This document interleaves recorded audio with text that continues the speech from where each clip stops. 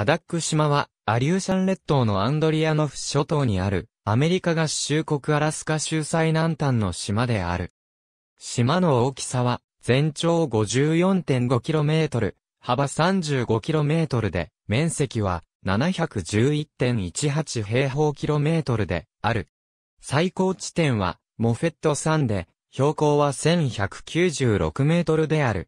2010年の国勢調査によれば、人口は326人である。アダック島の気候は、ツンドラ気候、海洋性気候で、曇り空で気温が低く強風が吹き荒れることが多い。低気圧による嵐が頻繁に起こっている。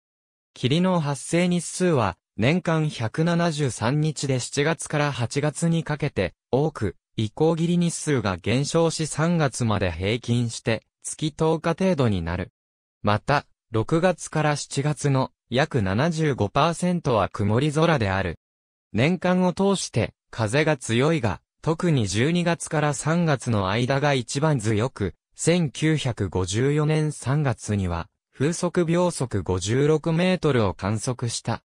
平均気温はマイナス6.7度から15.6度であり、1956年8月に23.8度の最高気温を記録し、最低気温はマイナス16.1度で1963年1月と1964年2月に記録した。新生代のヒナリーワの一種であるアダカイトはアダック島にちなんで命名された。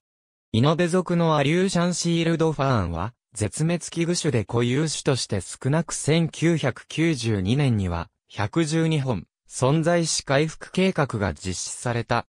島の北側には2400メートルの滑走路2本を持つアダック空港がある。アラスカ航空のボーイング737-400が週2便運航しており、旅客と貨物を取り扱っている。アリューシャン地域学校によって提供されており、K1-2 制度で約20人の学生が学んでいる。1700年代には、この島にロシア人の探検家が何度も訪れた。第二次世界大戦中の1942年に、日本軍がアッツ島及びキスカ島を占領したため、アダック島にはアメリカ軍の基地が作られ、日本軍への反撃に使われた。